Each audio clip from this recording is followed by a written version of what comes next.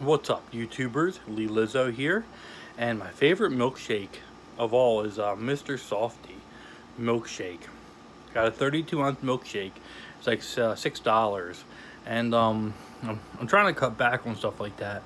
But every time I hear them come by, they're my favorite. Like I've had all the other milkshakes from um, the you know food chains and little mom and pops and this and that. I made them, you know, at home myself. And to me, by far, the best milkshake is Mr. Softee.